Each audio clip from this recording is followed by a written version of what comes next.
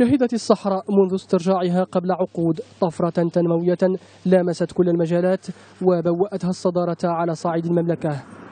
لكن ضعف الاستثمار في القطاع الخاص لا يزال واضحا ما يجعل القطاع العام الفاعل الأول في الجهات الجنوبية الثلاث والمعول عليه غالبا في توفير فرص العمل. بغينا تدخل الدولة باش تعطينا واحد التغيير التغيير اللي هو يكون ملموس. يعني هناك عدة آه، مواضيع وعدة حلول اللي كتنذكر ولكن في أرض الواقع هي غايبة وغايبة جدا. إحنا ما لمسناها.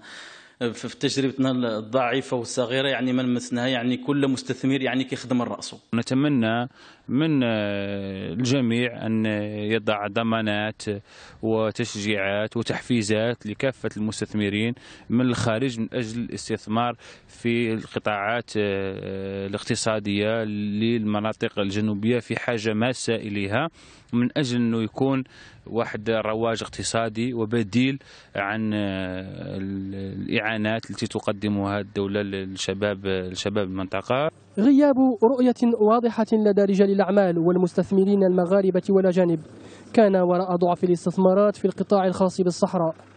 ما حذا بالمجلس الاقتصادي والاجتماعي والبيئي للخروج بالنموذج التنموي الجديد للأقاليم الجنوبية للمملكة والذي جاء لتدارك مكامن الخلل وتيسير المساطر لتشجيع الاستثمارات بالجهات الجنوبية الثلاث.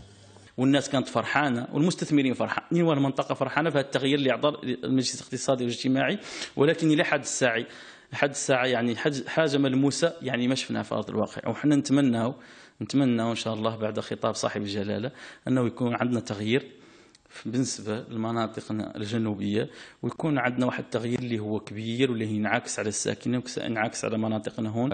املنا وتطلعاتنا آه، كبيرة بعد الخطاب الملكي السامي حول تطبيق النموذج الاقتصادي والاجتماعي اللي جاء به المجلس الاقتصادي والاجتماعي.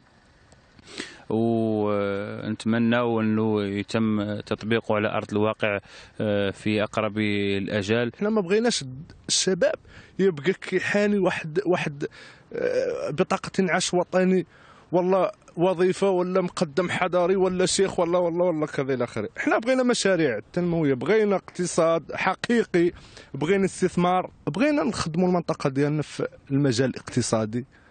وكنستبشروا خير بالخطاب عيد المسيرة الخضراء. المعاهد ومراكز التكوين المهني بجنوب المملكة تخرج كل سنة دفعات مؤهلة من الطلبة قادرون على الإسهام في أوراش التنمية بالأقاليم الجنوبية ومهيئون للولوج إلى سوق العمل.